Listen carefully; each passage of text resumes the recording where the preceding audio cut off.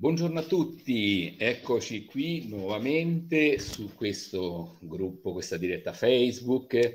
Sono Mauro Tronti, il presidente dell'Associazione Malati di Menier e abbiamo con noi come nostri eh, relatori per questo webinar il professor eh, Giuseppe Attanasio e il dottor Andrea Santoni che eh, ci daranno delle bellissime informazioni, soprattutto uh, per utilizzare eh, quello che al meglio nella nostra sintomatologia si verifica spesso, problemi di eh, udito e problemi di riabilitazione vestibolare.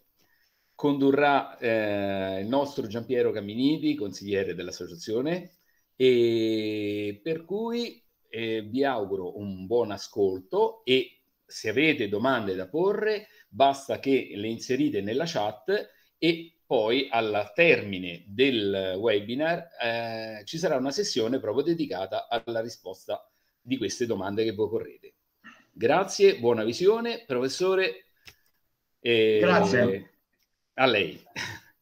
Grazie Mauro, grazie all'associazione per avermi invitato a fare questo, questo webinar, anche perché è una cosa a cui io tengo molto, in quanto ehm, si parla molto di diagnosi, si parla molto di linee guida, si parla molto di, di sintomatologia, ma poi in realtà quello che al paziente serve, e questo vale sia per la malattia di Meniere sia per qualunque altra malattia, è sapere se ha una terapia se, sapere cioè se quei sintomi che sono tipici della sua malattia in qualche modo possono essere alleviati o addirittura risolti se proprio non si riesce a risolvere la malattia per intero. Noi sappiamo, e i malati di Meniere lo sanno bene purtroppo, che non c'è una terapia che riesce a guarire clinicamente, biologicamente la malattia di Meniere. La malattia di Meniere è legata ad un aumento di pressione di liquidi all'interno dell'orecchio, è causata da tantissimi fattori, quello vascolare, genetico, dietetico, immunologico, eh, emozionale, eh, sono tanti, sono tanti i meccanismi e quando sono molti i meccanismi che provocano una malattia è ovvio, è molto difficile immaginare una terapia che possa andare bene per tutti. Proprio ieri stavo parlando con il professor Bruno che collabora con noi da tanti anni e che è un amico dell'associazione, in cui appunto si diceva certamente ci sono tantissimi pazienti che vengono trattati con la uh, chirurgia endovascolare, la famosa geoplastica percutanea transurminale per eliminare il problema dell'insufficienza venosa cerebrospinale che spesso è presente nel malato di Meniere, però poi si vede che un 20-22% di pazienti che pure hanno un'indicazione specifica, che pure hanno un problema vascolare particolare, vengono operati e dopo un anno, un anno e mezzo cominciano a riavere le crisi vertiginose e il senso di adattamento. Quindi è una terapia sempre difficile da trovare, è una malattia sempre difficile da gestire e questo fa sì che poi alla fine ci sia la necessità, come spesso accade in medicina, di trattare i sintomi almeno quelli più importanti, piuttosto che immaginare una terapia che possa andare bene e risolvere completamente la situazione. E questo è il motivo per cui questo webinar credo che possa essere utile e interessante sia per i medici che si occupano di malattie di Meniere, sia soprattutto per i pazienti, per sapere un pochettino a che cosa vanno incontro, cosa possono aspettarsi dai, dalla medicina, cosa possono aspettarsi dalle ultime eh, risorse tecnologiche che sono presenti. Allora io apro il mio schermo di diapositive per cercare di eh, rapidamente raggiungervi anche da un punto di vista grafico e questo è eh, appunto quello che vorrei farvi vedere oggi. Come vi dicevo, la riabilitazione uditiva e vestibolare. Perché? Perché noi sappiamo che la malattia di Meniere è tipicamente eh, diciamo, tipicamente manifestata con quattro sintomi principali, che sono la vertigine, l'ipocusia, l'acufene e poi questa sensazione di pressione, di ovattamento che viene normalmente denominata fullness. Ma è ovvio che la crisi vertiginosa rotatoria, l'ipocusia, prima fluttuante, poi pian piano purtroppo stabilizzata verso valori di media e alta gravità, e l'acufene, questa sensazione soggettiva di suono all'interno della testa o dentro l'orecchio o dentro le orecchie e inizialmente è tipicamente un motore, una sensazione molto cupa di di, di tipo proprio conchiglia di mare e che spesso precede il sintomo vertiginoso e poi piano piano lascia il paziente nei periodi intercritici e poi invece purtroppo con l'avanzare della malattia la vertigine tende a ridursi ma l'ipocusia tende a peggiorare, l'acufene diventa stabile e dalle eh, tonalità, dalle, dalle frequenze più gravi passa alle frequenze via via più acute diventando un sibilo sempre più fastidioso. Vedete in questa diapositiva come l'associazione la, uh, classica di vertigine, ipoacusia e acufenie è presente solamente nel 40% dei pazienti come sintomo iniziale della malattia. Molto spesso eh, c'è solo l'ipoacusia e l'acufene, il paziente si accorge di avere un ovattamento saltuario dell'orecchio con questo rumore, ma non ha nessuna crisi vertiginosa nel 20% dei casi, addirittura nel 14% la vertigine rotatoria è l'unico sintomo che inizia eh, la manifestazione della malattia di Meniere e magari dopo alcuni mesi o anche anni inizia la ipocusia fluttuante. Tutto questo per dirvi che quando arriva un paziente con una vertigine rotatoria intensa di una durata lunga e che non sembra essere dovuta a un'neurite vestibolare, è sempre da tenere in conto il fatto che possa essere un primo segnale di malattia di Meniere. È ovvio che se arriva invece con la vertigine, l'ipocusia fluttuante e la UFEN, la diagnosi è molto più semplice. Qui molto rapidamente la evoluzione della malattia, inizialmente vedete le fasi iniziali con la, con la uh, diminuzione dell'udito sulle frequenze gravi, poi pian piano questa diminuzione diventa cosiddetta pantonale, cioè che interessa tutte le frequenze, per poi diventare nella fase finale, che viene chiamata fase toppina, una ipocusia medio, grave e addirittura severa, in alcuni casi profonda Qual è uno dei sintomi più fastidiosi dal punto di vista uditivo del malato di Meniere? È quello che viene chiamato il recruitment, cioè la sensazione soggettiva di intensità dello stimolo è completamente alterata. Io normalmente ho la sensazione che un suono tende ad aumentare e mi accorgo di questo aumento, di questa gradualità. Nel malato di Meniere invece c'è un salto improvviso da una sensazione soggettiva di comoda udibilità rapidamente con piccole variazioni di aumento di intensità ad un suono che diventa invece assolutamente fastidioso o addirittura doloroso. Questo è legato a quello che viene chiamata la riduzione del campo dinamico, cioè della differenza tra la soglia di udibilità e il livello del fastidio. Questo è un campo dinamico di un soggetto normale, vedete sta intorno ai 100-110 decibel, questo vuol dire che io finché non raggiungo un suono di quella intensità riesco a sopportarlo senza avere fastidio. Vedete invece nel malato menierico come si riduce il campo dinamico per alcune frequenze addirittura è di soli 40 decibel, questo vuol dire che dal momento in cui comincio a sentire il suono al momento in cui questo suono diventa fastidioso, la, lo scarto di intensità è molto basso e questo evidentemente si ripercuote anche nell'audiometria vocale che è tipicamente il famoso fenomeno del rollover, cioè man mano che aumenta l'intensità del suono migliora la, la mia discriminazione, arriva a un punto tale in cui l'aumento l'intensità del suono della parola si manifesta, si eh, corrisponde ad un peggioramento della mia capacità di percezione e di intellezione della parola. Questo è assolutamente un problema perché la riduzione del campo dinamico porta una fonofobia, cioè una paura da parte del paziente con Meniere di andare in ambienti rumorosi, di eh, sottoporsi a eh, stress acustici fino alla cosiddetta misofonia. La misofonia, cioè addirittura, questo stiamo parlando di, una, di, una, diciamo, di un sintomo più neuropsichiatrico, addirittura in cui anche piccole, piccole intensità di suono, addirittura la masticazione, la, lo starnuto, possono provocare una sensazione di fastidio o addirittura di dolore. Eh, una ipocusia di un paziente menierico, per definizione, essendo un'ipocusia che fluttua, si è sempre detto non può essere protesizzata. In parte è ancora vero, ma la, il progresso tecnologico, e questo è il primo messaggio che voglio dare, il progresso tecnologico è soprattutto un progresso che riguarda i filtri nel guadagno protesico e la struttura dei, degli, degli altoparlanti, dei microfoni soprattutto, ha già cominciato a cambiare un po' questa, questo, questo uh, dogma che fino a qualche anno fa era presente. Perché fino a qualche anno fa? Perché ormai alcuni, alcuni eh, apparecchi acustici con la presenza di un doppio ricevitore e con la presenza di una particolare conformazione della chiocciola aperta e ventilata con una punta medio-lunga, il cosiddetto cochi, già comincia ad essere un apparecchio che eh, può essere proposto ai pazienti menerici, ma in particolare, e questo è importantissimo che l'otorino lo sappia,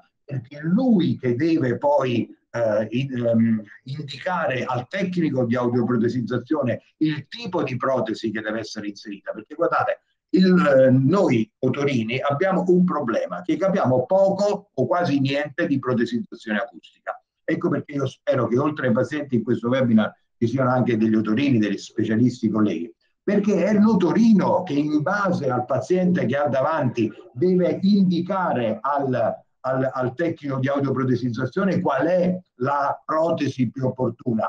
Ovvio che se io ho davanti un paziente con un'ipoacusia e acufene, io ho bisogno di dire al tecnico di mettere un open fitting combinato. Se il paziente all'acufene ha una soglia pantonale e potenzialmente potrebbe avere una protesi acustica endaurale, io devo dire al tecnico non gliela mettere la endaurale perché anche se teoricamente può usufruire, può eh, avere dei vantaggi dal punto di vista acustico, il suo acufene tenderebbe a peggiorare. E lo stesso nel menierico. Io devo dire al tecnico di autoprocessazione non mettere un apparecchio tradizionale, metti un apparecchio clear band, metti un cochi, ma metti soprattutto un apparecchio con un doppio microfono direzionale per le alte frequenze, omnidirezionale per le basse frequenze. Non sto a, a entrare nel dettaglio perché deve essere così, ma è, deve essere così, perché è il microfono il punto di il fulcro ed è il punto di maggiore debolezza nella protesizzazione, perché se il microfono è omnidirezionale e quindi riesce ad essere buono per le basse frequenze, ma cambia la sua funzione per la localizzazione sulle alte frequenze, il paziente menierico ha disturbi e lo stesso se è, su, se è tutto direzionale sia per le basse che per le alte. Quindi la cosa importante è un open feeding, chiocciola cochi, doppio microfono direzionale per le alte, omnidirezionale per le basse.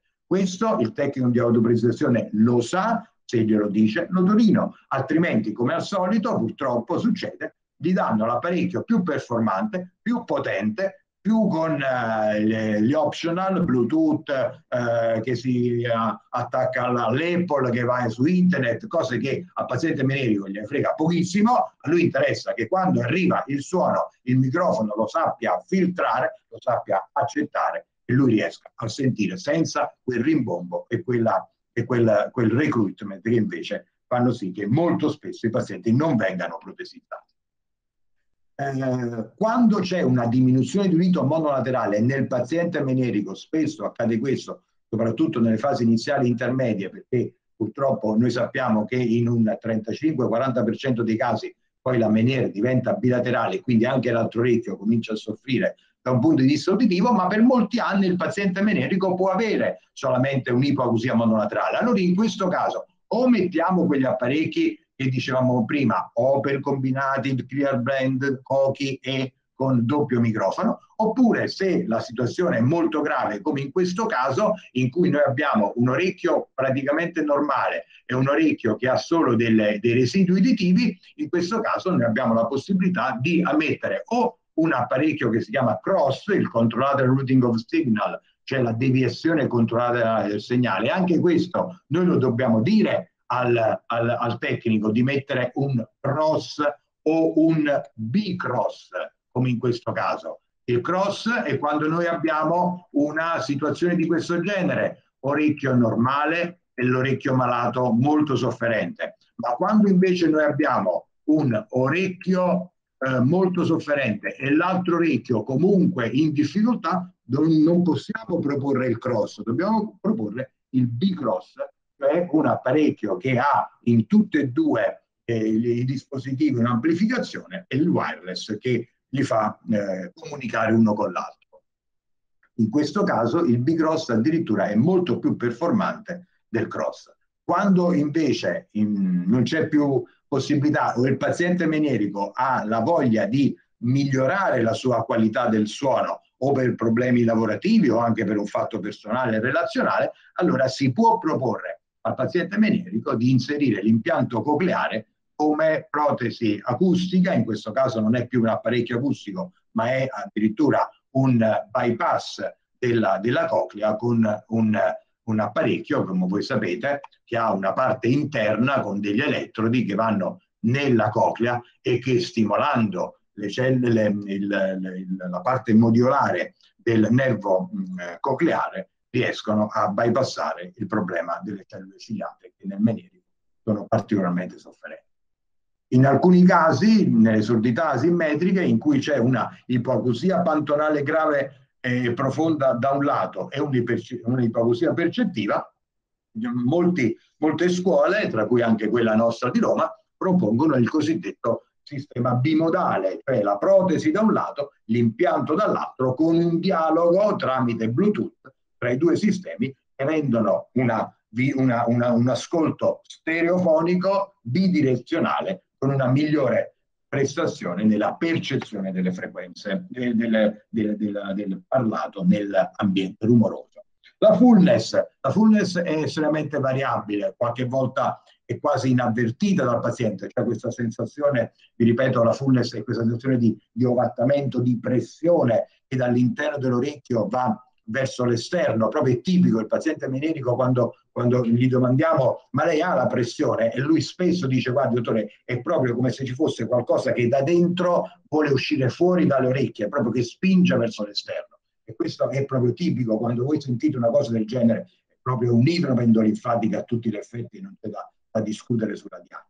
Il 68% dei pazienti menierici riferisce la fullness, nel, quasi nel 40% da moderata a grave. Ecco quindi come il, la fullness, pur non essendo un sintomo uditivo vero e proprio, perché non è una perdita di udito, non è una acufene, ma è una sensazione, una percezione di pressione, ma vedete come nel 40% di questi pazienti diventa talmente importante che è uno dei problemi che più spesso riferiscono e che vogliono alleviare.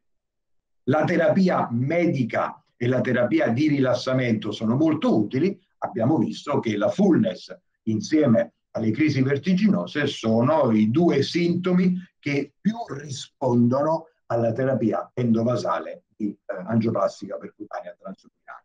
Qualcuno pre, ehm, da, consiglia l'Otovent, ma vi assicuro che non funziona, altri eh, hanno, hanno, provato il Meniet, anche in questo caso eh, è, un, è, un, dispositivo che dà delle, delle, diciamo, delle pressioni intermittenti nel, nell'orecchio medio che si riflettono poi nell'orecchio interno, ma eh, i, i, dati di letteratura e soprattutto le meta-analisi della Cochrane hanno stabilito che, almeno nel paziente menierico, questi tipi di terapie non funzionano. Quindi per la fullness la cosa, l'unica cosa da fare è abbassare la pressione dei liquidi all'interno dell'orecchio, quindi terapia medica, qualche volta diuretici, qualche volta di SPC Flex, qualcuno risponde bene anche a una dieta iposodica iperidrica, ma non è da stressare troppo questo concetto perché purtroppo gran parte dei pazienti con Meniere non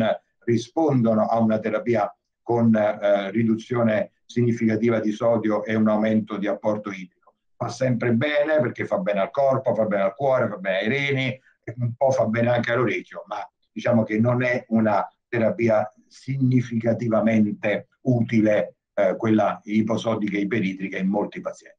Gli acufeni, questo è un altro problema serio, è un altro problema perché, come vi dicevo all'inizio, il, gli acufeni sono eh, collegati con la crisi vertiginosa, poi, poi diventano autonomi e questo è tipico dell'acufene. L'acufene, di qualunque sia l'origine, mandipolare, trauma acustico, ipoacusia, malattie di Meniere, all'inizio sono collegati al problema che li ha provocati, eh, ma subito dopo, dopo alcuni mesi o al massimo dopo un anno, l'acufene si autoalimenta, diventa autonomo rispetto alla situazione che lo ha determinato.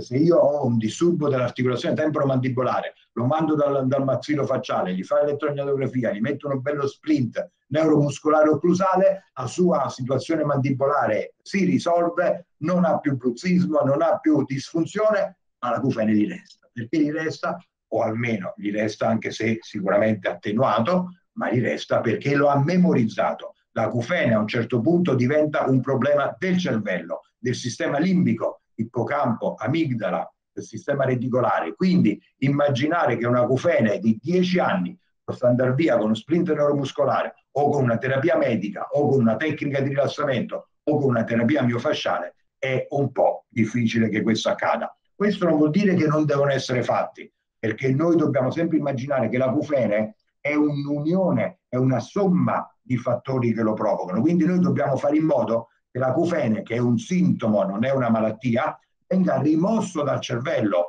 ma io devo fare in modo che il cervello sia nelle condizioni migliori per rimuoverlo.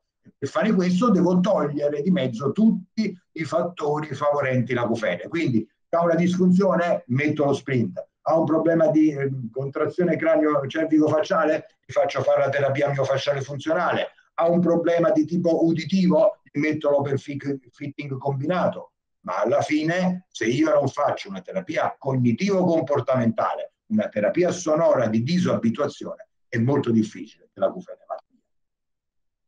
La cufene della malattia di Meniere può diventare cronico, dobbiamo mettere una protesi acustica, esistono altre terapie? Ecco, ve l'ho già detto. Terapia medica? Assolutamente sì. Le terapie mediche, antinevralgici soprattutto. Noi sappiamo ormai da anni, da anni che il, la cufene dopo una prima fase non segue più la linea del sistema uditivo, non segue il percorso del, del nervo uditivo, delle vie nervose, delle vie eh, uditive centrali, assolutamente no, la cufene prende la strada del dolore cronico. Ecco perché quando si è più stanchi, quando si è più irritati, quando si mette più attenzione, la cufene aumenta al pari del dolore cronico. E al pari del dolore cronico, se si è più distratti, se si è più sereni, se si è più ehm, eh, riposati, l'acufene si riduce, esattamente come accade per il dolore cronico. Allora, terapia medica con antinevralgici centrali, pregabaline, gabapentin, questi sono i farmaci che vengono utilizzati insieme a terapie cognitivo-comportamentali, la TRT, la terapia di arricchimento sonoro, è una terapia essenziale, ma non può essere presa e messa lì eh, da sola, deve essere associata a tecniche di eh, sonore, la Mozart terapia per esempio noi la utilizziamo tantissimo, a una tecnica comportamentale, a una tecnica di cosiddetta disattenzione o distrazione dell'attenzione, per esempio noi utilizziamo molto la mindfulness, le terapie cognitive, tutto questo per farvi capire che chi si occupa di acufeni, che sia un menerico o non sia un menerico, o ha un team che lo supporta, oppure meglio e lascia perdere e lo manda a qualcuno un po' più organizzato.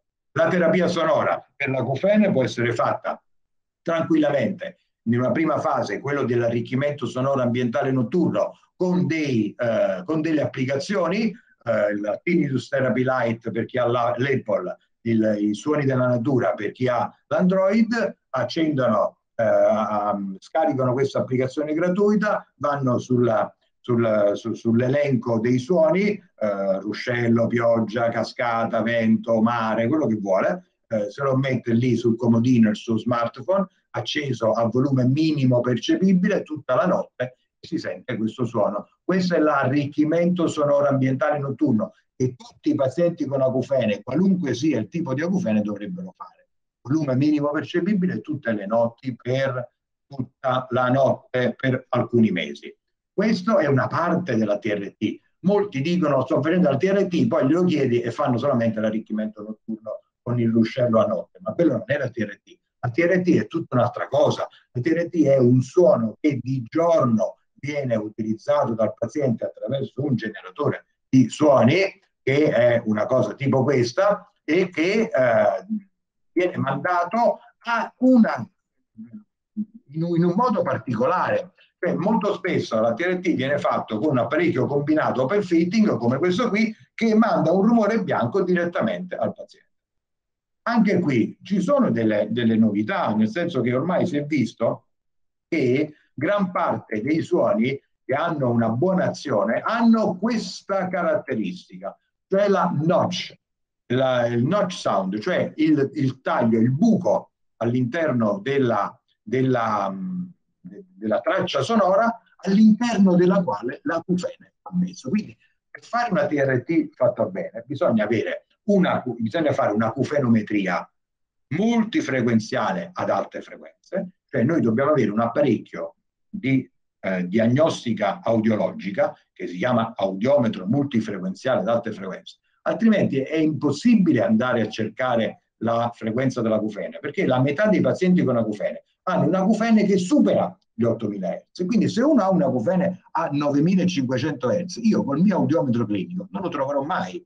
Se io ho un acufene anche a 5000, 6000 Hz, ma non ce l'ho tonale, cioè non ce l'ho a 4000, a 3000, a 6000, ma ce l'ho per esempio a 5825, se io non ho un audiometro multifrequenziale, non lo troverò mai. Allora, chi si occupa di acufene deve avere una, un audiometro multifrequenziale ad alte frequenze, va a cercarsi l'acufene, prende il range frequenziale, lo toglie dal suono che sta all'interno dell'apparecchio open fitting, gli fa un bel buco, glielo manda tutto il giorno a un volume minimo, a un volume, scusate, di comoda udibilità, mixing allo stesso livello della cufene, la cufene entra dentro questo, questo buco che abbiamo fatto nel, nel, nel, rumore bianco e viene elaborato dal cervello al pari del rumore neutro che genera l'apparecchio acustico. Questo è una TRT di seconda generazione che tutti si, che si occupano di acufeni dovrebbero fare. Bene, questo era per quanto riguarda l'udito, per quanto riguarda l'acufene e per quello che riguarda invece la, uh, la, la fullness. Il quarto sintomo, come vi dicevo, è il sintomo della vertigine che come tutti i pazienti che soffrono di malattia di Meniere sanno eh, è il sintomo principale soprattutto nelle, nelle, fasi iniziali e intermedie della malattia perché? perché il paziente ha una crisi vertiginosa intensissima, duratura, eh, da 20 minuti fino ad alcune ore, con eh, fenomeni neurovegetativi, quindi nausea, vomito, una sensazione terribile di insicurezza che lascia questa, questa, questa crisi vertiginosa e questa, questa crisi ovviamente è legata alla, all'aumento della, del, del, dell'idrope che una volta attivata non c'è niente che la fermi. Ovviamente Sappiamo benissimo che quando c'è una crisi vertiginosa intensa, l'unica cosa da fare è cercare di bloccare i sintomi, quindi eh, farmaci, eh, antiemetici, vestibulo-soppressori, cortisonici, diuretici osmotici, la terapia medica su questo eh, ha ampia possibilità, anche se, vi ripeto, una volta che la crisi si è scatenata, eh, deve fare il suo corso, per quanto noi possiamo dare al paziente dei farmaci, noi possiamo solamente ridurre il tempo della crisi, ma di sicuro non la blocchiamo immediatamente. E questo è un problema perché noi sappiamo che ogni volta che c'è una crisi vertiginosa il paziente non ritorna mai nelle stesse condizioni di quando era all'inizio. L'udito, la fullness, la cufene sono sempre peggiorati ogni crisi vertiginosa che accade. Quindi il primo goal è quello di ridurre la crisi vertiginosa, ma questo viene fatta con la terapia medica, non c'è altro modo. Eh, terapie locali con le infiltrazioni intratimpaniche, terapie eh, generali, terapie in flebo, in vena, poi questo è, un, è, una zona in cui non voglio entrare perché poi servirebbe un webinar solo per questo. Ma qual è il problema? È che molto spesso, molto spesso, i pazienti con la malattia di Meniere hanno i periodi della crisi, quindi con eh, un giorno, due, anche tre eh, in cui stanno male e poi piano piano si riprendono e ci sono poi i periodi cosiddetti intercritici in cui il paziente da un punto di vista vestibolare è in assoluto benessere e questi pazienti non devono fare nulla se non quello di fare terapie mediche per ridurre la frequenza delle crisi. Altri pazienti invece, e stiamo intorno al 22-26% secondo la letteratura, purtroppo anche nei periodi intercritici riferiscono sintomi vestibolari sfumati, eh, ma che eh, peggiorano la loro qualità della vita e che vanno ad inserirsi in quel quadro di insicurezza, insicurezza posturale che viene dalla memoria della crisi. instabilità, disequilibrio, oscillopsia, sensazione di, di, di, di, difficoltà quando muovono rapidamente la testa, quando ci sono oggetti che rapidamente si muovono nel campo visivo e tutto questo provoca una rigidità del collo e quindi un peggioramento per una contrazione dei muscoli cranio-cervico-facciali. Allora in questo caso, e questo, di questo ne parlerà il collega Andrea Santoni che si occupa di questo, noi proponiamo una riabilitazione vestibolo-propriocettiva. Perché vestibolo-propriocettiva? Perché certamente la fase più importante è la fase della riabilitazione del vestibolo, cioè del sistema dell'equilibrio, ma in molti pazienti, come vi ho detto, c'è anche una fase di tipo propriocettiva con la decontrazione delle fasce cervicali profonde su cui si appoggiano i muscoli cranio cervico facciali che questo sì aiuta tantissimo il riabilitatore vestibolare a fare il suo lavoro. Allora, io mi fermo qui per quanto riguarda la mia parte, lascio una decina di minuti, un quarto d'ora al dottor Santoni che vi parla un po' della nostra esperienza nel campo della riabilitazione vestibolo-procettiva, soprattutto vestibolare, e poi magari facciamo qualche eh, discussione insieme. Buongiorno a tutti, sono Andrea Santoni, tecnico audiometrista. Collaboro col professor Giuseppe Attanasio da quattro anni e mi occupo di rieducazione eh, vestibolare. E ehm, oggi appunto vi faccio un, un, accenno breve, ma spero significativo, della, di che cosa ci occupiamo.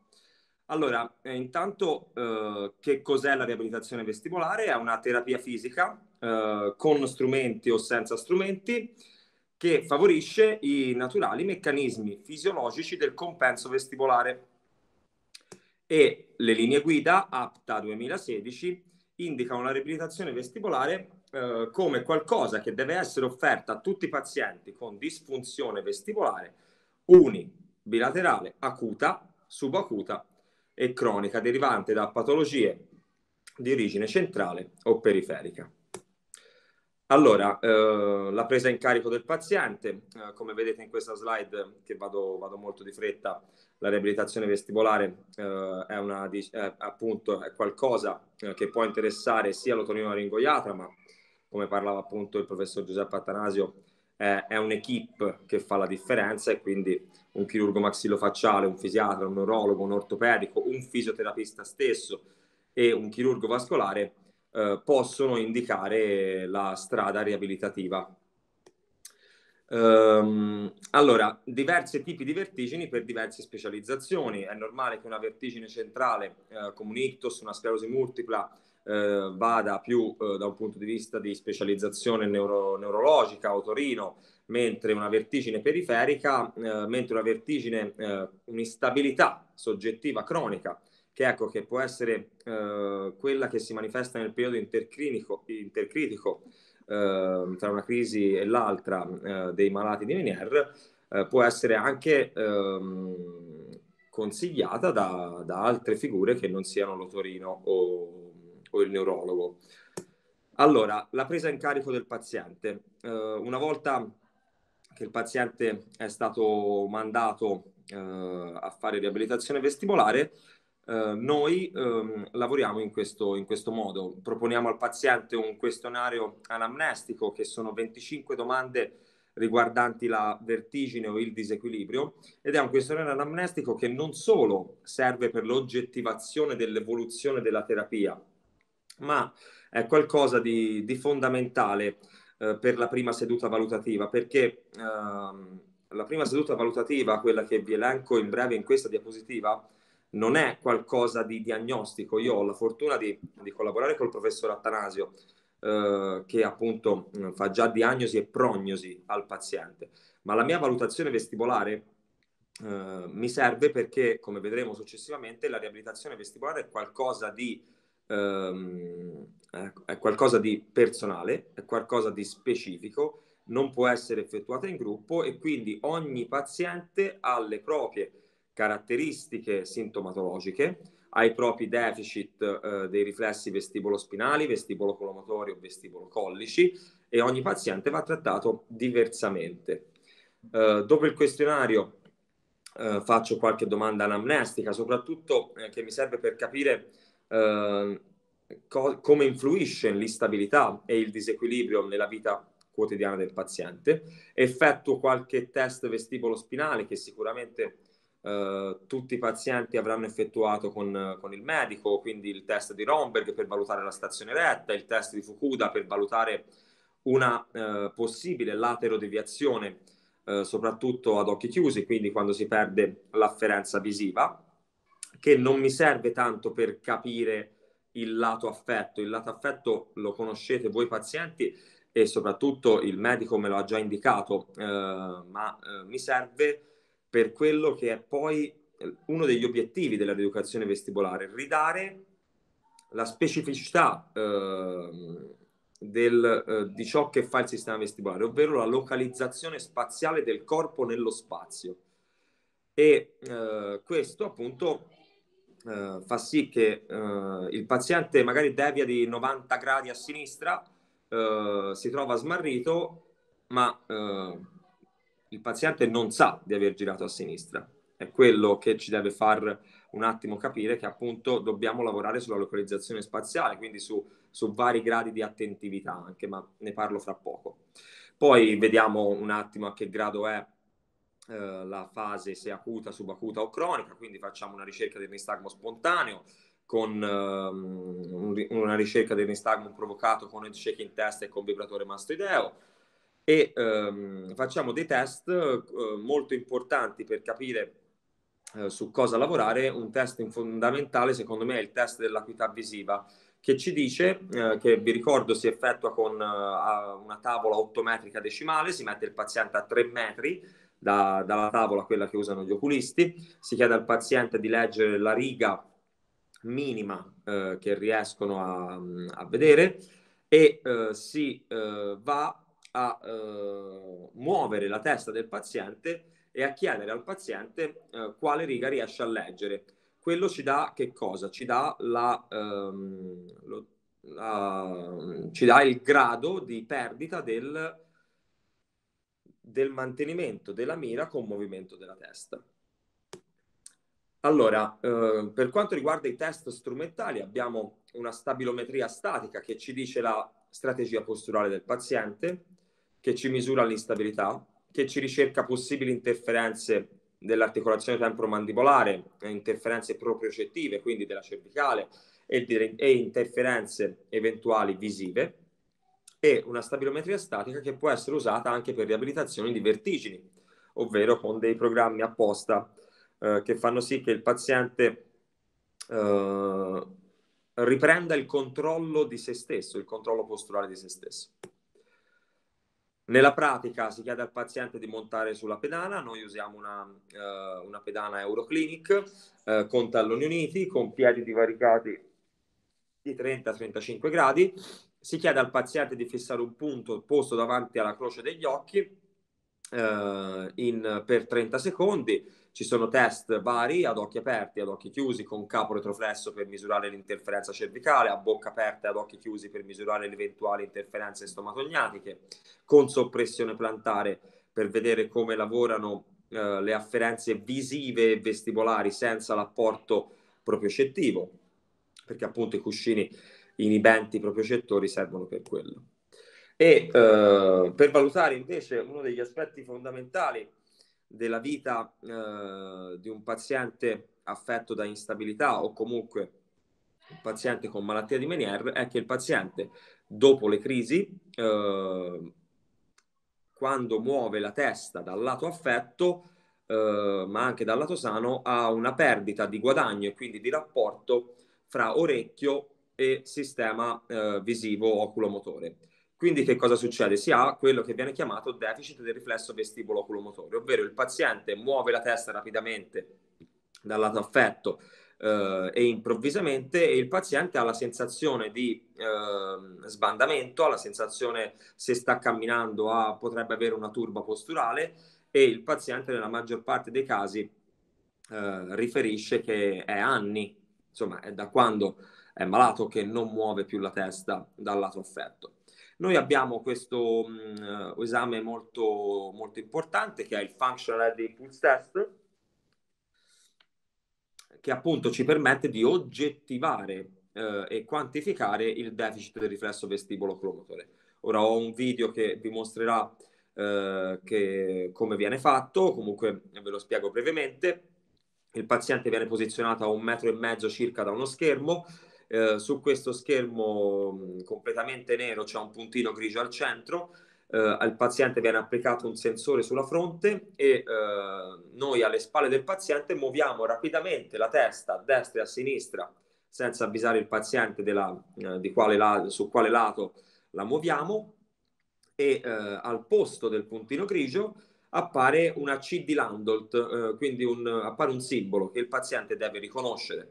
Un paziente eh, con un uh, riflesso vestibolo oculomotore normofunzionale non ha nessun problema. Un paziente come uh, questa figura nel, uh, nel, nella, nella, diapositiva, e in questo caso era una nevrite erpetica dell'orecchio di destra, come vedete ha un deficit del quasi 70% quando muove la testa a destra, quindi risponde al 30% dei, degli stimoli, ma anche come vedete il lato sano eh, è comunque affetto. Del... Andrea usa il cursore così è più facile capirlo.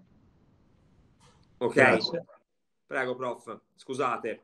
Dicevo, ehm, come vedete in questa slide, questo paziente Ah, ve la spiego brevemente. Questi numeri grigi che vedete al fianco del, del blu e del rosso eh, si, eh, hanno come significato la media campionaria di pazienti eh, con normofunzionalità vestibolo-oculomotore. La, ehm, la, il campione di persone sane eh, viene appunto eh, viene analizzato se io ho un paziente di 30 anni maschio eh, il, il, software mi dà la campionatura di pazienti dai 30 ai 40 anni di genere maschile e questo come vedete è il numero di percentuale di pazienti sani 90% 91% come vi dicevo questo paziente con una nevrite del lato destro come vedete ha un 30% di risposte sul lato affetto ma come vi dicevo di solito abbiamo anche una perdita eh, sul lato sano, in questo caso di quasi del, del, del 20% da, dalla media, del 30% dal 100%. Queste, eh, queste, tre barre verdi e blu e verdi e rosse sono, le, eh, sono quello eh, che, che poi fa sì che questo è uno strumento veramente importante perché analizza le frequenze eh, specifiche, la 4000, la 5000 e la 6000 Hz, perché eh, vi ricordo, ma lo avrete sicuramente sentito negli altri, nei precedenti convegni di, dove si parlava di meniere di riabilitazione vestibolare, che il riflesso vestibolo oculomotore viene attivato ad un range alto eh, di velocità. Quindi questo ci indica una 4000 Hz, una 5000 Hz, una 6000 Hz, quindi è proprio la velocità della testa. E sotto abbiamo eh, la, le risposte esatte alle determinate frequenze di stimolazione che noi, ehm, che noi riabilitatori ehm, usiamo. Abbiamo, ho un breve video che vi vorrei mostrare dove appunto vi fa vedere la semplicità e la poca invasività dell'apparecchio anche se sembra una persona molto in salute questo è un paziente affetto da un deficit bilaterale del riflesso vestibolo oculomotore. Come vedete ci dà la possibilità di scegliere eh, fra, fra, i vari test del riflesso vestibolo oculomotore sui canali laterali, quindi con movimento orizzontale della testa, ma ci dà anche la possibilità di valutare il riflesso vestibolo oculomotore con movimento della testa eh, verticale eh, e quindi di stimolazione dei canali anteriori e posteriori eh, di entrambi i lati. Questo, questo, è, questo, è, il test, semplicemente. Come vedete giriamo, giriamo la testa e, eh, e, chiediamo al paziente di individuare eh, il, la C di Landolt. Allora, dopo aver fatto questa valutazione, procediamo al protocollo. Il protocollo di riabilitazione vestibolare, come vi dicevo, si differenzia a seconda della distanza temporale che intercorre fra eh, la patologia, quindi per quanto riguarda la malattia di Meniere, fra eh, l'ultima crisi e l'inizio. Se sono passati meno di due mesi, il protocollo prevede 10 sedute in tre settimane, è un protocollo molto stretto perché il sistema eh, il sistema vestibolare, quindi il cervelletto è qualcosa che va stimolato quotidianamente, se invece, la, se invece sono passati più di eh, tre mesi, eh, allora si fa 12 sedute in 6 settimane. La riabilitazione vestibolare è personalizzata e la riabilitazione vestibolare eh, verte su uno dei più grandi... Ehm, è importante sapere che gli esercizi variano di settimana in settimana, eh, il grado di difficoltà deve sempre aumentare, il paziente deve essere accompagnato all'interno della riabilitazione e eh, la riabilitazione noi la effettuiamo dividendo in quattro grandi categorie I, i, il, il lavoro, lavoriamo sulla propiocezione statica che appunto serve per far riprendere eh, coscienza e conoscenza del proprio corpo all'interno dello spazio al paziente, lavoriamo sull'oculomotricità, quindi sui riflessi visuo-vestibolari come l'inseguimento lento, i riflessi saccadici, il riflesso ottico-cinetico. Ve ne mostro semplicemente uno dei video sul, sul, riflesso di inseguimento lento. Si può lavorare tranquillamente semplicemente con una penna. Viene chiesto al paziente di inseguire una mira, cosa che sembra semplice ma che voi sapete eh, può essere molto complicata per chi eh, muovendo gli occhi ha questa sensazione di instabilità. È, una senza- è un'instabilità che va appunto rieducata. Vado rapidamente con un altro video che vi mostra appunto un accenno di un lavoro eh, sui movimenti saccarici, quindi un altro lato dell'aspetto della vita del paziente è quello di muovere rapidamente gli occhi anche a testa ferma può dare eh, molto fastidio al paziente, ci lavoriamo, chiediamo al paziente di fissare eh, prima una penna, poi l'altra. Naturalmente quello che vi sto facendo vedere è la base della riabilitazione. Si, ci si può riabilitare veramente con una sedia e, e una penna e tanta, mh, mm, e tanta volontà.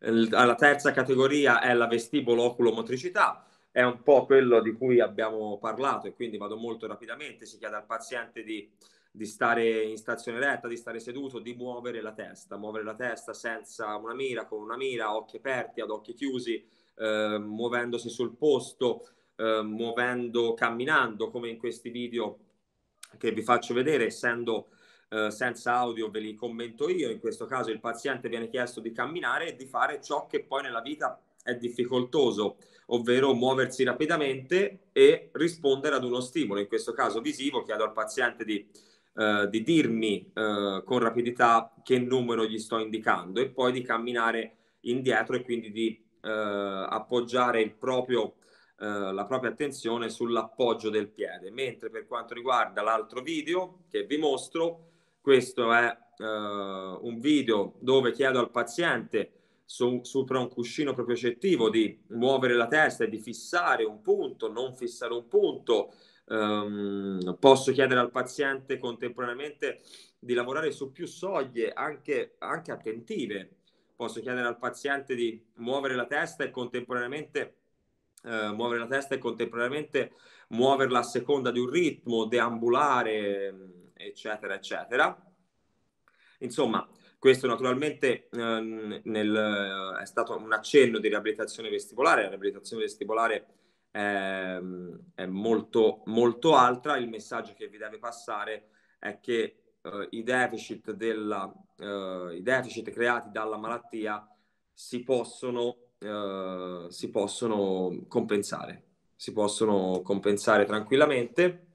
Questo è il, è il protocollo di controllo del percorso dopo 4-5 sedute, dopo un mese e in ultima seduta. Grazie per l'attenzione e mi ricollego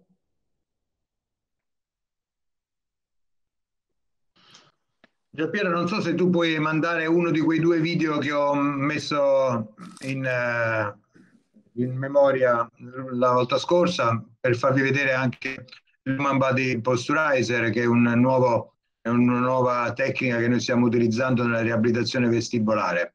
Uh, se abbiamo tempo, se hai modo di, di rintracciarli, ma insomma, vedi un po' tu, fammi sapere. Ok, lo sto rintracciando. Ok.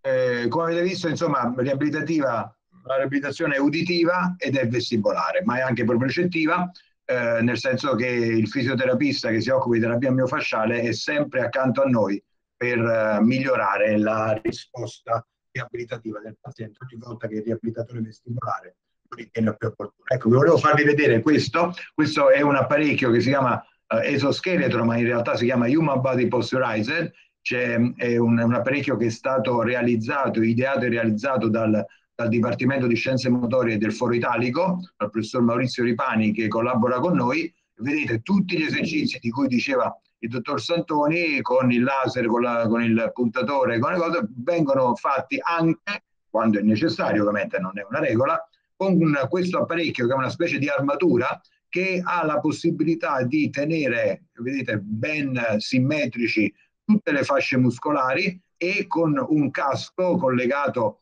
al, al, al, al dorso che permette una normale motilità della testa ma normale, non, non contratta come invece spesso hanno. Vedete, eh, poi il paziente viene chiesto di eh, seguire una mira laser, nel frattempo si muove sulla pedana propriocettiva, ha il, l'esoscheletro, quindi tutti i suoi movimenti sono simmetrici. Vedete, sono tre diverse eh, riabilitazioni che vengono fatte nello stesso momento, visiva con punta, il puntatore laser, eh, propriocettiva con il tappeto morbido e eh, di tipo ovviamente eh, vestibolare per quanto riguarda il movimento e la, il, il, camminare sul posto. Ecco, sono, sono tecniche che ogni, ogni, mese ce n'è una nuova.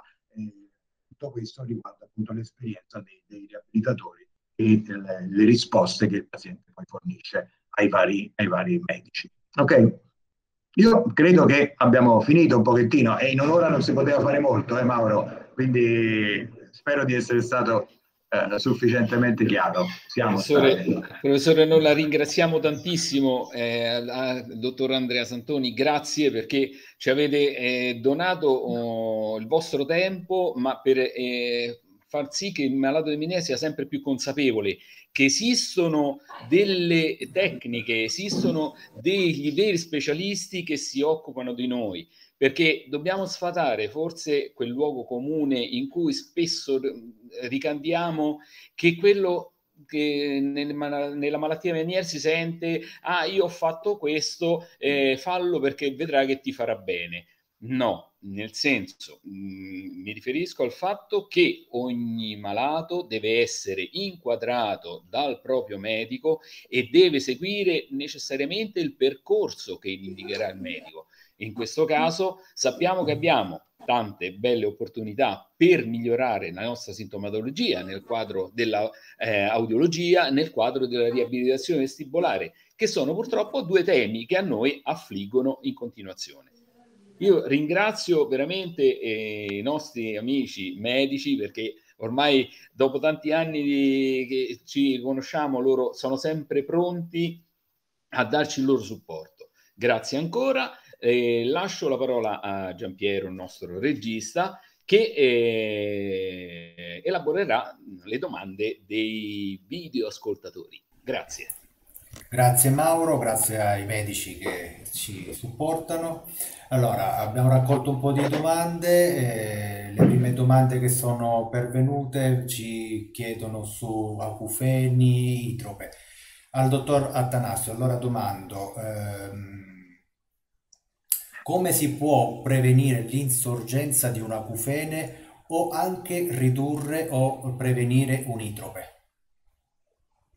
Beh, eh, ridurre, preven- prevenire l'insorgenza di un acufene possiamo fare molto poco. È ovvio che ci sono me- del, delle situazioni eh, che sono a rischio, eh, l'esposizione ai traumi acustici, le eh, infezioni virali, eh, problemi di tipo vascolare, quindi fare sempre un controllo quindi diciamo come acufene in generale eh, bisogna avere una vita sana, ma questo vale un po' per tutte le malattie. L'acufene è un sintomo di una sofferenza che può essere una sofferenza metabolica o vascolare. Eh, quindi è ovvio che tutto ciò che riguarda il metabolismo, quindi una corretta alimentazione, movimento, sport, eh, il controllo della pressione del sangue, il controllo della, delle arterie e delle vene cerebrali, tutto fa sì che eh, insieme ovviamente alla, alla riduzione dell'esposizione sia lavorative che ludiche ai rumori traumatici. Eh, per quanto riguarda l'idrope, purtroppo, ve l'ho detto, eh, ci sono delle terapie mediche, delle terapie alimentari e in alcuni pazienti vanno bene, in altri un po' meno. certamente tutto, tutta la terapia è inquadrata e ha come obiettivo quello di ridurre la crisi idropica, quindi i diuretici, il, il cortisone e i farmaci per via intratimpanica e, e poi la, la, dieta iposodica iperidrica nei pazienti che rispondono, altrimenti comunque un controllo del sale e una buona idratazione eh, vanno sempre bene. Un altro utente ci domanda quanto può incidere la stanchezza, soprattutto mentale, oltre che fisica? La stanchezza eh, è molto, molto importante per quanto riguarda i fattori eh, sovraliminari, cioè la, la fullness e il, l'acufene. La stanchezza fisica eh, spesso viene messa anche in relazione alla crisi vertiginosa. Io credo che ci sia una relazione anche tra questo, però mentre per la fullness e il, c'è proprio, ci sono proprio dei dati di letteratura, sulla crisi vertiginosa molti dicono beh è stato un periodo stressante e mi è partita la crisi però poi io domando, ma era l'unico periodo stressante che ha avuto? Ma in realtà poi uno ce n'ha tanti di periodi stressanti e magari la crisi non è partita, poi parte quella volta, ma non, dal punto di vista scientifico non c'è una significatività. Eh, quello che il paziente riferisce può essere anche semplicemente una coincidenza. Sicuramente sulla fullness per una contrattura dei muscoli cervicofacciali e sulla gufene per una ridotta capacità di gestire il sintomo, la stanchezza fisica agiscono molto. Ok, grazie. Ehm, nel- nella sfera delle donne, eh, i sintomi della miniere possono essere influenzati anche da fattori ormonali? Assolutamente sì, assolutamente sì. Ci sono delle crisi idropiche che sono molto in relazione o al, al ciclo ormonale, al ciclo mestruale, oppure nel periodo della premenopausa. Eh, gli estrogeni e i progestinici sono molto eh, sono stati sempre messi in relazione con la crisi idropica, soprattutto gli estrogeni. Quindi eh, i pazienti donne, ovviamente, quando si avvicinano verso la, il climaterio, verso la, la, la fine delle, del loro periodo mestruale, hanno una, una variazione delle crisi vertiginose, in genere in senso migliorativo. Grazie. Allora, eh un altro utente ci dice che c'ha un acufene fisso monolaterale H24.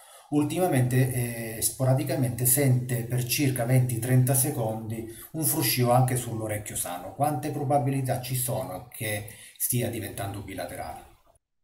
Ah no, nessuna. No, sono, sono, due acufeni diversi e, e uno è continuo, quindi quello è una informazione di una sofferenza della coclea. Eh, quello sporadico è un fatto assolutamente occasionale, legato probabilmente o a un problema diciamo, pressorio, a un problema vascolare, o a un problema eh, di tipo muscolare, ma se sono due acufeni diversi, il fatto che diventi bilaterale mm, non c'è nessuna eh, evidenza, nel senso che se diventa bilaterale perché quello nuovo alla fine diventa cronico, ma non perché c'era già l'altro, questi sono, sono due acufeni diversi. Probabilmente anche l'origine è diversa, quindi io direi quello, quello cronico magari lì e lo gestisce bene, quello nuovo farebbe bene a fare qualche indagine e vedere se non è un problema muscolare così lo blocca subito prima che diventi poi duraturo. Un altro utente ci chiede a quale professionista si debba rivolgere per terapie sull'acufene, che siano mediche, comportamentali o di altro genere. No, non c'è un medico specifico, è ovvio che è l'otorino il medico di riferimento, questo è sicuro. L'otorino intanto deve escludere i problemi otologici e mh, in genere ci sono, quindi eh, l'otorino è il, lo specialista centrale che poi una volta uh, elaborata la sua diagnosi manda il paziente ai diversi specialisti in base a quello che lui ritiene sia la, la causa principale. Noi nel nostro centro abbiamo il maxillofacciale, il fisiatra, il neurologo, il vascolare e il, il, il tecnico psicocomportamentale. Quindi insomma, eh, qualunque cosa sia la gufene da qualcuno eh, va e, e, qualche cosa la facciamo, insomma. Però è ovvio che l'odorino da solo non può fare molto. Eh. Sempre ricollegandoci alla domanda di prima sullo stato di stanchezza, di stress, eh, anche uno stato depressivo può incidere?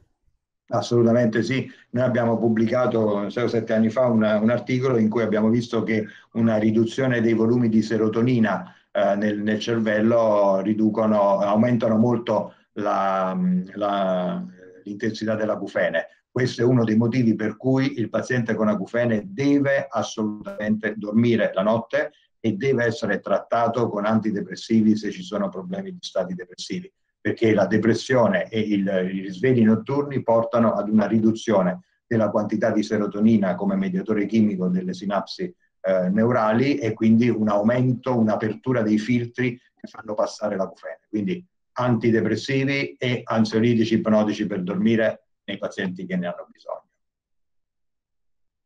Quale figura medica bisogna rivolgersi per fare riabilitazione vestibolare? Cioè sempre l'otorino che in qualche modo inquadra sì. la terapia oppure si può anche eh, decidere di andare solo dal vestipologo? No, in realtà no, in realtà è sempre meglio che sia l'otorino a dare delle indicazioni, poi è ovvio che il protocollo riabilitativo viene fatto dal tecnico di riabilitazione, questo è fuori, luogo, è fuori dubbio, l'otorino non ha le competenze, non ha nemmeno l'esperienza per dire al tecnico quale protocollo usare, anche perché molto spesso, e questo Andrea sicuramente lo confermerà, eh, man mano che si conosce il paziente si riescono a capire anche quali sono gli esercizi più adeguati per lui quindi assolutamente no, l'otorino deve solamente indicare quali sono i riflessi che secondo lui devono essere maggiormente stimolati, ma poi il modo e la, il protocollo, la durata, i tipi di esercizi vengono scelti in maniera assolutamente autonoma dal tecnico che ovviamente deve essere bravo perché se non ha esperienza è meglio che lascia perdere.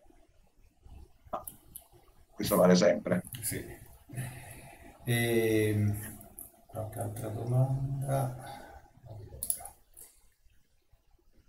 Vabbè, molti chiedono un po' dove, eh, dove seguire questa terapia riabilitativa. Cioè, quali... E questo però poi diventa, diventa, una, non so se, se Mauro me lo permette, eh.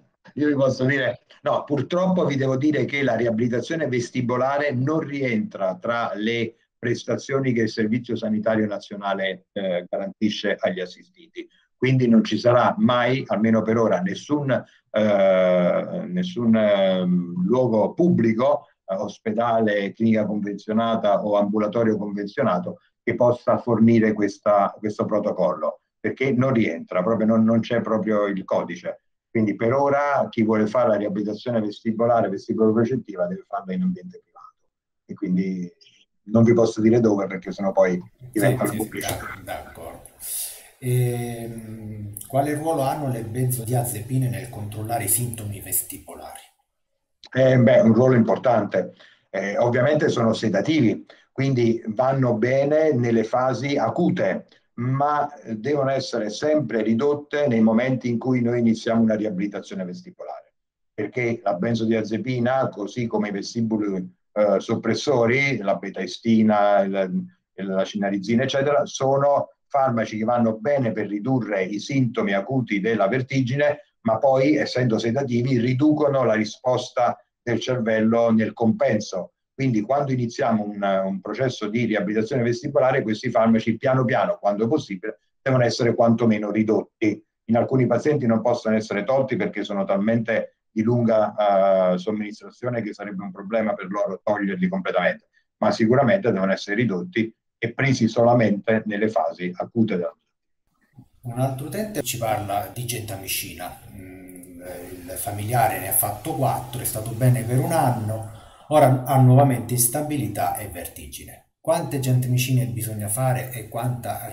riabilitazione vestibolare può risolvere? La gentamicina, la gentamicina è una tecnica che viene utilizzata quando uh, quelle meno aggressive non hanno prodotto dei risultati. Quindi io la utilizzo quando la terapia medica eh, e la terapia riabilitativa non sono state sufficientemente eh, utili al paziente. È una tecnica ablativa, quindi va a distruggere il, eh, il, ehm, il labirinto posteriore. Se il paziente dopo un anno ha riavuto le vertigini, bisogna vedere se le vertigini sono dovute ad una riattivazione stessa, dello stesso lato che è stato infiltrato e quindi bisogna continuare le eh, infiltrazioni di gentamicina oppure come più spesso accade è una attivazione dell'altro lato e in questo caso ovviamente non deve essere fatta la gentamicina altrimenti poi diventa un, un areflettico bilaterale e quindi poi diventa impossibile da riabilitare. Deve, deve fare un controllo e capire questa, questa ripresa delle crisi a quale lato è dovuta. Certo. Ehm... Da fai VEMS, sì. i potenziali evocati in sì, genici. Sì. E parliamo adesso anche di attacchi di Tumarkin e rigidità cervicale. Sì. Mm, cosa è possibile fare in questi casi?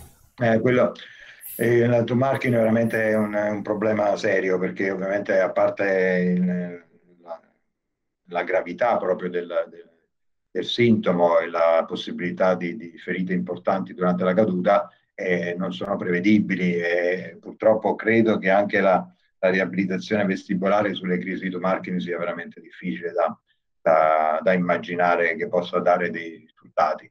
Lì bisogna agire sulla terapia medica, cercare di bloccare il, il vestibolo e basta.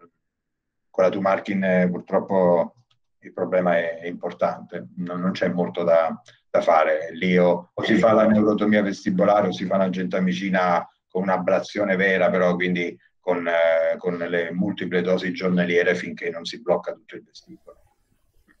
Quindi in quel caso la rigidità del collo è, è dovuta alla, alla eh, sì. no, è, no, è reattiva, è reattiva.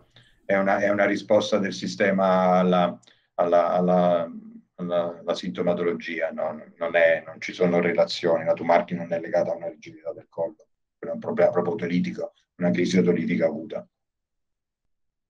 È possibile per un menierico in fase tranquilla riprendere a fare sport fisicamente impegnativi di contatto? Eh, lo, deve, lo deve fare, è molto utile. Qualunque cosa che lo riporti sia da un punto di vista emozionale che dal punto di vista fisico e muscolare a muoversi, a muovere la testa, a muovere il collo, a, muovere, a stare bene anche da un punto di vista proprio personale, è tutto consigliato assolutamente. Cioè, riprendere tutte le attività ludiche e relazionali e lavorative, non bisogna bloccarsi in niente, quando possibile. Sono d'accordo. E... La nausea forte trae benefici dalla riabilitazione vestibolare? Mm, Andrea, non lo so, mi sembra di no, mi sembra, non lo so. Beh, certo, se migliora il compenso, migliora pure la nausea. Dipende, la nausea dipende dalla causa della nausea. Se è una nausea cronica, forse sì. Vestibolare del riflesso vestibolo-oculomotore e, e avviene quando il paziente muove rapidamente la testa oppure è dovuta al fatto che il paziente non muovendo più la testa è bloccato con il collo e quindi ha bisogno di una riabilitazione propriocettiva, sì. E quanto i tappi auricolari di cera possono peggiorare una situazione? Beh, peggiorano sì, peggiorano l'udito, peggiorano l'acufene, non peggiorano la vertigine perché quella non viene peggiorata dai tappi di cera, però certo se uno ha una acufene e ci si mette pure un tappo dentro l'orecchio, la acufene aumenta perché si riduce il mascaramento dei suoni ambientali. Eh, per quanto riguarda la fullness e l'ovattamento, ovviamente peggiora. Però è anche vero che se il paziente eh, menerico mette i tappi, evidentemente tutti questi problemi non ce l'ha e se questo lo aiuta a dormire perché magari c'è un ambiente rumoroso la notte, eh, i tappi. Poi non è che c'è una risposta medica per tutto. Eh. Certo. Va bene, allora penso che ci possiamo anche fermare. Se arrivano altre domande le raccogliamo e poi magari le archiviamo e ve le poniamo in, in secondo luogo. Eh, noi vi ringraziamo della vostra gentilissima disponibilità. Grazie a voi. Grazie ancora. Grazie, grazie a voi anche a Mauro, mi ha mandato un messaggio dicendo che sì, eh, non riesce più a collegarsi. collegarsi e quindi se, se, ci sente, ci sente di sicuro, io lo ringrazio, gli faccio tanto in bocca al lupo per questa sua uh, attività di nuovo presidente dell'associazione, che è, una, è, un peso importante, ma che lui sicuramente riuscirà a, a sopportare con, eh, con, tanta serenità. Grazie anche a te Gianpiero per il controllo. Grazie. Buona giornata a tutti. Al prossimo appuntamento. Buon fine Arrivederci. a tutti. Arrivederci.